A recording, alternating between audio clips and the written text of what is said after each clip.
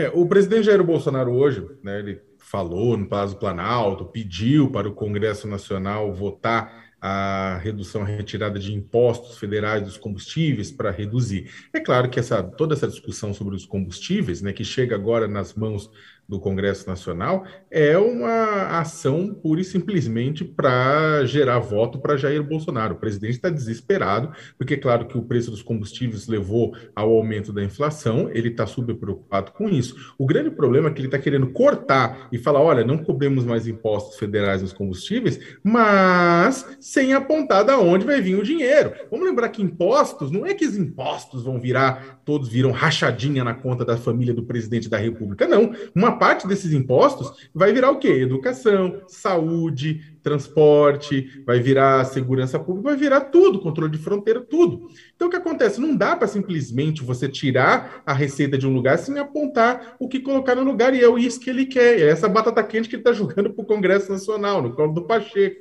e tudo isso mais. E o Pacheco está falando, pera lá, né? Agora, se o presidente da República quiser reduzir o preço do diesel, é simples, basta calar a boca.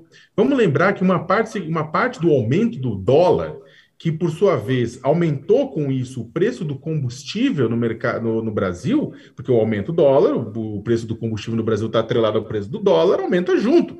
Uma, uma parte desse aumento do dólar, o dólar só chegou a esse tamanho por conta da insegurança política, da insegurança, da insegurança institucional que é colocada na mesa pelo presidente da República. Lembra daquelas micaretas golpistas de 7 de setembro? Pois bem, o dólar subiu, escalou, da mesma forma que escala toda vez que Bolsonaro, ao invés de trabalhar pela nação, briga com os outros poderes. Então, faria um bem enorme ao presidente. O presidente quer começar, quer ajudar uns 10% do preço do combustível? Pois bem, calha a boca.